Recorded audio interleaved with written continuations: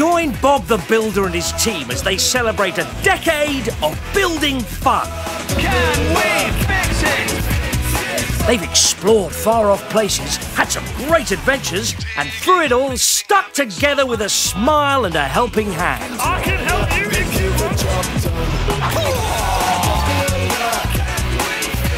They know that it takes everyone working together as a team, whether the build is big or small. And with that can do attitude, they've built some amazing structures. together now. They've also made plenty of friends along the way. And always had loads of fun. We've had the most fun ever.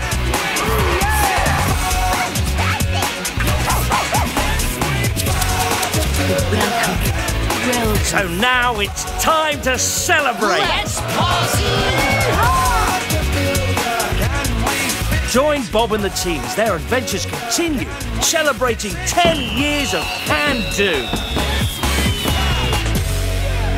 We better get some work done.